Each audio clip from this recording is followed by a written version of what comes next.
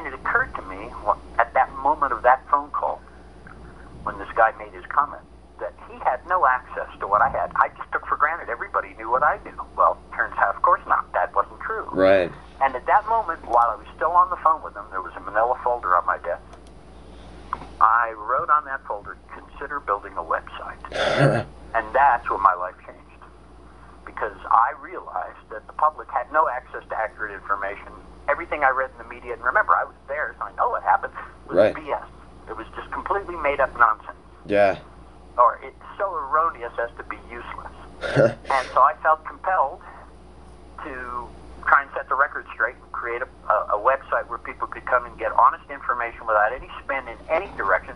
If you've seen the website recently, you'll see that not only did I attack Garlaschelli, who is anti-shroud, yeah. I attacked Barbara Frale, who's pro-shroud, because she was spouting more nonsense that's been proven wrong that uh, to 12, 13 years ago that Wow. Barbara Frale, those inscriptions that she claims, they were proven totally wrong. They make Hmm. no sense. You know, there are certain letters of the English alphabet that you would never find in the same word together. They just, you know, QMLD. Those letters would never, Right. you'd never find those in a word in the English language.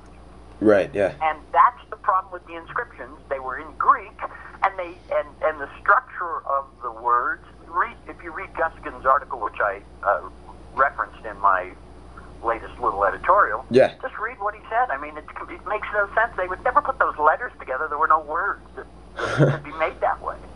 And so somebody has taken little shapes and markings on the shroud, enhanced them, manipulated them, uh, analyzed them, if you want to call it that, but manipulated them is the best word. Yeah. And all of a sudden they see these little shapes and they start connecting the dots and making them into letters. And if you read Barbara Frale's last thing, they had to interpolate letters into words to make words and stuff. Hey, that's not how science works. You don't make it up just so that it'll fit. You know? They have all kinds of fun stuff going on, don't they? Oh boy.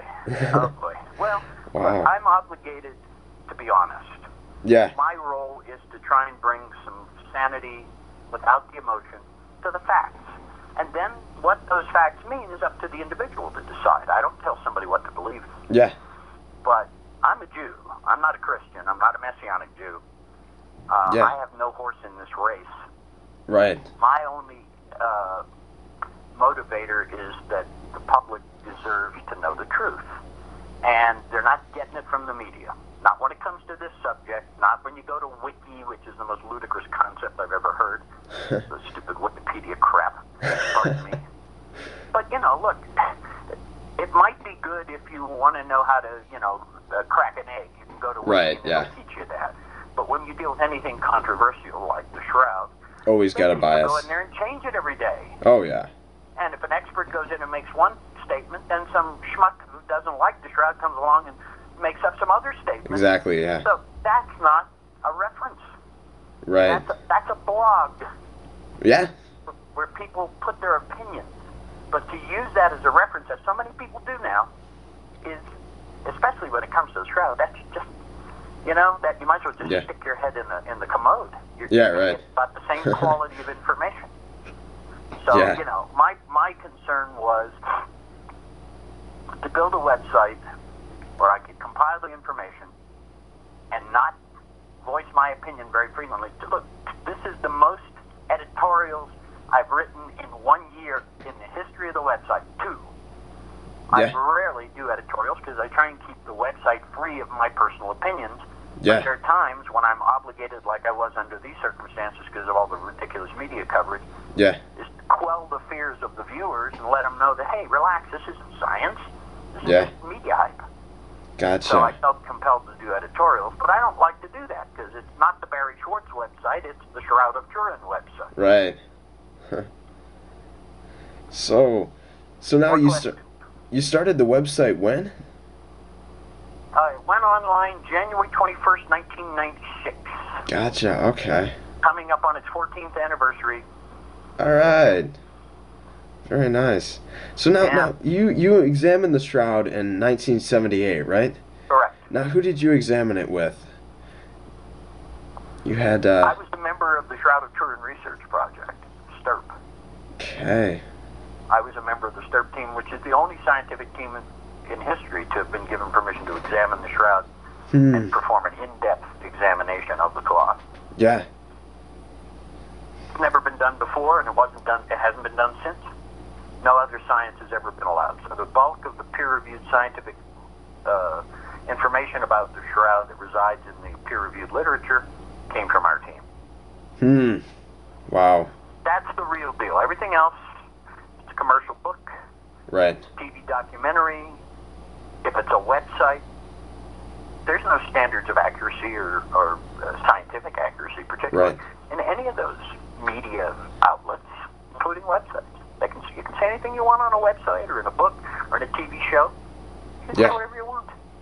But in a peer-reviewed journal, when you submitted an article to a peer-reviewed journal, it goes through a panel review of Right. experts in the same field, and they evaluate it. They question you. They may even re- try and repeat some of your experiments. Because remember, repeatability is part of the scientific method.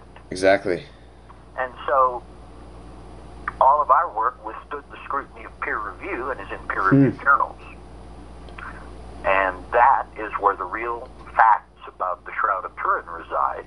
The problem is, who reads peer reviewed journals? Nobody. Yeah. Right. Exactly. And that's why I built the website, so that I could collect as much of that material as the copyright law allows me, and, Yeah. uh, and get permission for as much as I can, and provide a resource of information. So if you're studying the shroud, you can come there and know that the information's been pretty thoroughly vetted, that, that it's not just somebody's personal opinion. Yeah. And if it is a personal opinion, then it's listed as such Right. so that it's clearly marked. You know, when I write an editorial, I put the word editorial in the headline Right. Yep. okay, to make it very clear, and I put my name below it. So this is Barrie Schwortz's opinion. Right. I try not to do that very often, but in this these last two cases, I was compelled to do it, and I didn't want to have to do any more of it after Garlaschelli. But when Frale came out, basing her stuff on the Marion and Courage inscriptions that were debunked in the 90s, I could not sit still and be quiet, even though I didn't want to write another editorial two in a row like that Yeah. but I felt compelled, and I felt that if I don't, then the skeptics are going to look at me and say, "See that Schwortz? He claims to be fair, but when bogus information comes out that's pro authenticity, he doesn't mention that. He doesn't criticize that." So I Right. was obligated to be honest about it and tell people. And look, I have nothing against Barbara Frale or Luigi Garlaschelli. As a Yeah. matter of fact, my friend Thibault Heimburger contacted Garlo Shelley and worked with him to write the article which debunked Garlaschelli. And that I published the week Hmm. two after. Did you see that article? No, I didn't. Well, it's on it's on the thing. If you just go Yeah. to where you know to the page, the late breaking news page there, and you'll you'll find it. There's an article from Thibault Heimburger who discussed everything with Garlaschelli, Yeah. and then analyzed it. There's a, it's a PDF with photomicrographs, comparative analysis between the two. Okay. Dramatically different than the shroud. It's not anything like what the shroud looks like. Yeah. So there you have Hmm. it. So, you know, uh, it's not exactly what my intention was, uh, you know, to interject my own personal opinion Right. But I have come to a point now with the website where people rely on me for sort of an honest evaluation of things. Right. Awesome responsibility, you know? I Yeah. I tell you, the hardest job I've had in my whole life is being the editor and publisher of Shroud.com. Well, I'm Wow. often caught in, in intellectual uh, disagreements between Yeah. personal friends of mine. yeah. and, and I can generally tell when I've been fair in mediating a, a, a uh, conflict between two shroud guys.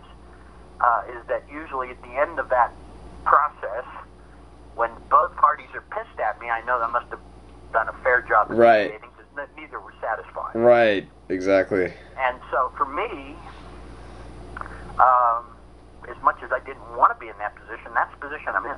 I, I, you know, I didn't, I didn't really intend any of this. This is just how it came out. Right. What can I tell you? You're, you're in Michigan. yes, I am. Yep. How cold is it up there today? Uh, we had a little bit of snow, but it's not accumulating on the ground, so. Uh, I've got about three inches from la- from yesterday and last night. It was uh, three below here at my house. Oh my. My son lives over in uh, Alma, which is at uh, 10,500, 10,500. Yeah. And he got up this morning with 17 below zero. Oh. We, we had a bit of a cold spell. I see. But the sun is sun is out, and it's all the way up to 21 degrees now. wow. Yeah, so uh, so I can relate to Michigan. I'm from Pennsylvania anyway. So Oh, really? Okay. Yeah, I know some my, people from there. my, my uh, home state. That's where I was born and raised. Gotcha. So snow is no big deal. But my house is at 8,300 feet. Oh, wow. Mhm. Bet it gets cold. Rocky Mountain High, I guess that's what it, you would say.